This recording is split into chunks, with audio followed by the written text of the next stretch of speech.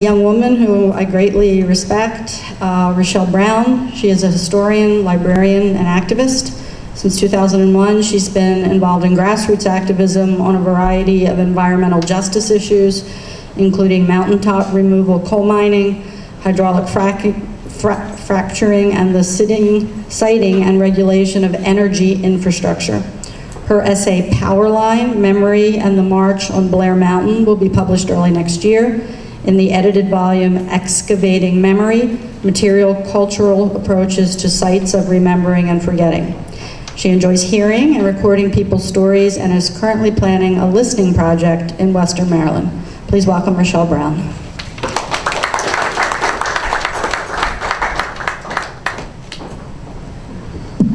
Thank you, Deborah, and thank you, Tom. That's really tough to follow. Um, my father, who uh, was in Vietnam and who actually uh, was decorated by the Republic of South Vietnam, Vietnam, and had those decorations until they were stolen in a move, uh, is fond of saying that some people run away from gunfire and some people run toward it. And uh, it sounds like Tom is one of those people who runs toward it. But I'm going to try and follow that. Um, rickety. I'm a military brat. My father was a career Army officer this meant that we moved from North Carolina, where I was born, to Kansas, Tidewater, Virginia, Hawaii, and then the DC suburbs of Northern Virginia. When people ask me where I'm from, meaning where I grew up, the area that shaped me, I often say the DC area, which is true enough because I spent half the time there between my birth and my 18th birthday and have been there pretty much ever since. But I am also tempted to say that I'm from the military although that confuses people who are likely to think I mean I was in uniform at some point. I was born in a military hospital, on a military installation, a place that belongs to the entity called the federal government, more specifically the Department of Defense, which, like all organizations, large organizations, bureaucratic organizations, has a headquarters but no home. The military decided where my family was going to live and more than once provided the generally quite shabby housing there. And even though my father retired when I was a young teenager and I went to only one middle and high school, we continued to move for various reasons. It was not an upbringing that encouraged attachment to any particular place. Home meant the built environment, which is indeed an aspect of place, but it pretty much stopped there for me. We weren't in any one location long enough for it to distinguish itself for me.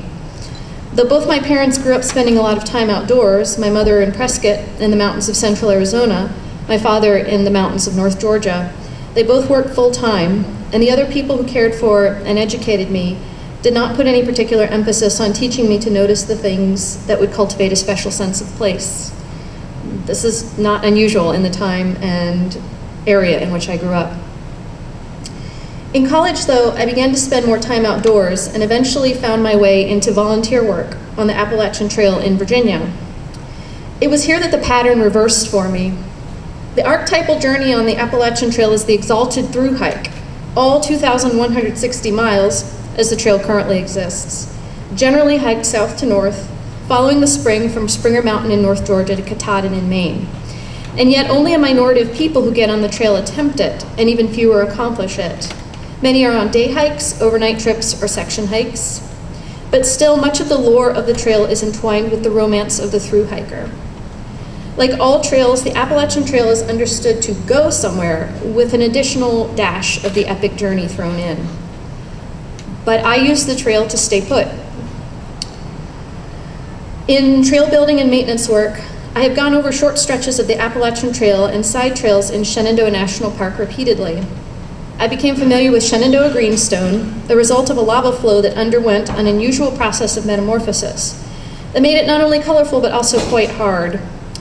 Drive a tool like a pick mattock directly into some greenstone, and usually all you'll get is the energy reflected back through the handle in a jolt that vibrates unpleasantly through the joints of your fingers and arms. The trail crews I worked on also assisted on popular trails elsewhere in the park that are not part of the Appalachian Trail system. I passed several week-long trips on Old Rag Mountain, a billion-year-old granite monadnock that abuts the Shenandoah Mountains, which are about half its age.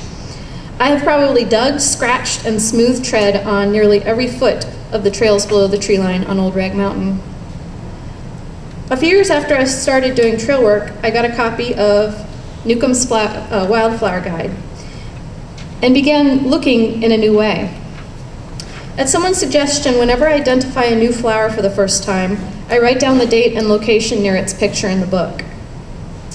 Some of the plants I identified for the first time in the spring of 2007, the first time I took Newcombs out on the trail, include the Canada violet, lettuce saxifrage, small flowered crowfoot, wild geranium, and great chickweed.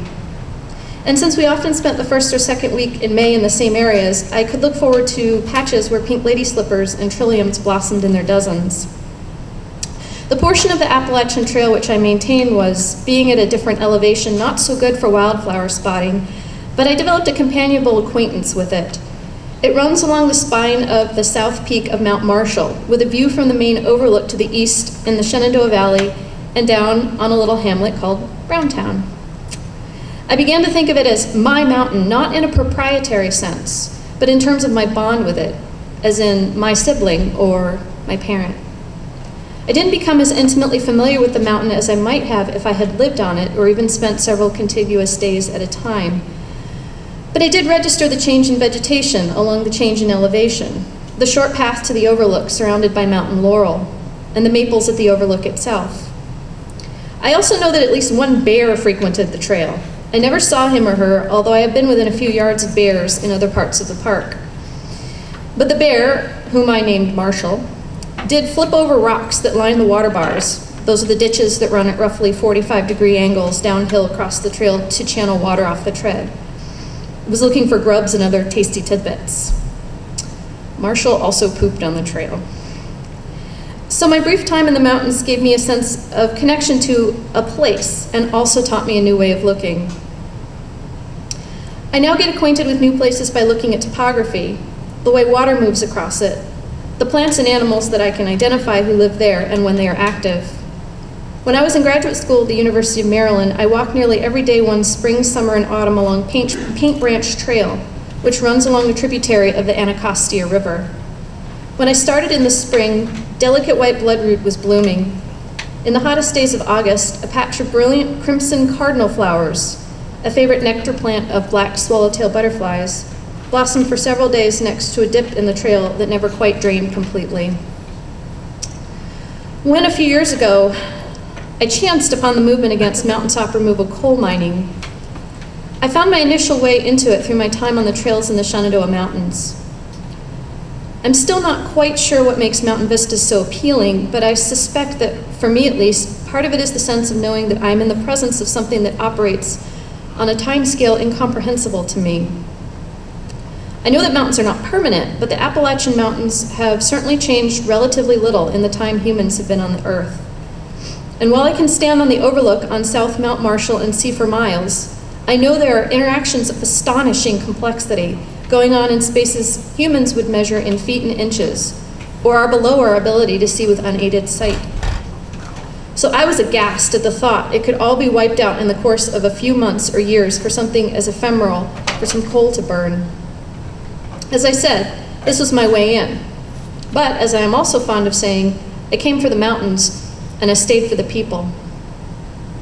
I know intrinsically that each place is worthwhile on its own terms, but this sense is general. I come to appreciate places in particular through other people's understanding of them. They designate them. The places must be established before they can be given meaning by those who care for them. They know them as I do not. They hold fast to them and defend them in the face of threats, and sometimes acts of violence, ostracism, community conflict, and the constant invitation to despair. They do not give up on them. This is not to disparage those who feel they must concede and seek life elsewhere. They have done what they needed to, often for the preservation of their own and their loved ones' health and livelihoods. I know it is rarely an easy decision. I feel I work on their behalf too, honor their loss and their exile. But I could not do so could not hold fast to this path without those who remain, who stand defiantly in place in the places that matter to them. These places do not have to be pastoral retreats, places of rushing water, burbling springs, rippling grass on meadows, dramatic mountain vistas, although they cer- certainly can be. They do not have to meet any tests of purity or pristineness. Sometimes those who seek to prevent the kind of harm I also oppose inhabit and use those places in ways that are difficult for me to comprehend or even troubling to me. And people can have ambiguous relationships with place. They may have been productive of cares and disappointments and sites of trauma. They are rarely locales of ease and abundance. In fact, remaining in place is often hard work. It requires planning, upkeep, repair, shepherding, and safeguarding of resources. Thus, the depredations of absentee landowners and people who are transient because they alight, use up, and move on. It is not a question of property rights and resale value, although these are necessary considerations in a society in which one must generally have recourse to the marketplace to fulfill needs and desires. It's something in addition to that. A patch of ground that is an abode, a repository of memories, and a source of strength can also bear poisons. But although I fight harm and damage, if they have been done, I do not accept that these places are beyond redemption. Soiled, spoiled places that warrant no further effort, that are best abandoned to further abuses. Places like Curtis Bay, the Anacostia River in DC, the coal mines and gas wells, both active and abandoned in Appalachia, the industrial sites and toxic waste dumps located in rural areas, where people are assumed to be quiescent, even grateful, in the face of incursions by large and different entities, including, I might add, the federal government. My fellow activists and I are frequently tagged with the epithet of outside agitator. We wander around spoiling for the next big fight. We stir up trouble, acting on strange, sinister motives, sometimes said to be of sheer antipathy for order, stability, and tranquility. It's a familiar rhetorical tool of powerful people, disingenuous and underhanded. It also implicitly casts aspersions on the community members who are already there, already fighting, because they are always the first to resist.